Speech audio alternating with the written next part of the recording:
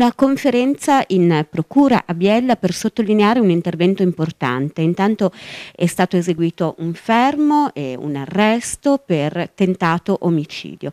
Il procuratore ha sottolineato davvero eh, l'importanza e il valore, eh, l'impegno delle forze dell'ordine, in questo caso della Polizia di Stato, nell'attuare questo intervento. Così.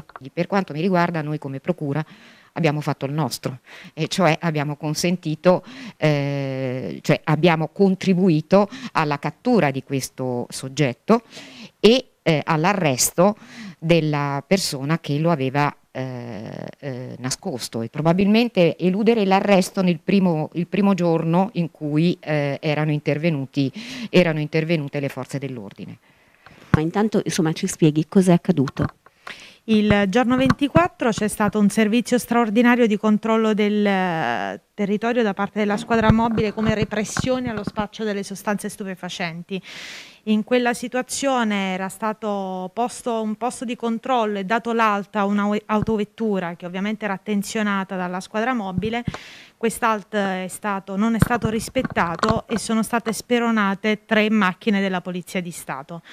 Nella situazione è stato anche gravemente ferito un agente di polizia eh, che ha subito una prognosi iniziale di 30 giorni per trauma contusivo.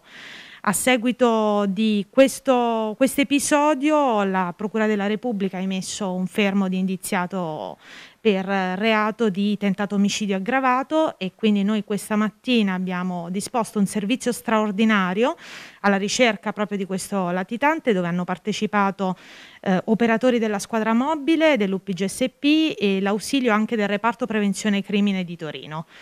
Quest'uomo è stato ritrovato all'interno di un appartamento di proprietà di una donna già ehm, eh, arrestata per spaccio di sostanze stupefacenti ai domiciliari attualmente, l'aveva nascosto consapevole che era un ricercato della polizia e aveva inizialmente dichiarato che all'arrivo dei colleghi era fuggito. In realtà abbiamo cinturato la zona, abbiamo cercato e una parte dei colleghi hanno continuato la perquisizione in casa trovandolo e quindi lui è stato, gli è stata data esecuzione al fermo di indiziato, il provvedimento emesso dalla procura. La donna è stata arrestata per favoreggiamento personale. Ecco, dicevamo veramente in pochissime ore, quindi la conclusione di un intervento eh, di questa portata, tra l'altro insomma quasi un, un, investimento e un inseguimento che ha messo in pericolo anche chi poteva transitare in quel momento. Questo sicuramente, questo da però serve per far capire la gravità, la gravità di questa condotta che eh, in realtà potrebbe essere semplicemente un, una resistenza, sì, una resistenza, però in, in, questo caso addirittura hanno provato a uccidere una persona, quindi a, a investirlo. Di qui quindi la sinergia che ne è venuta dopo, anche grazie all'intervento del, io con gli acronimi sono terribili. Ufficio Prevenzione Generale e Soccorso Pubblico. Esatto.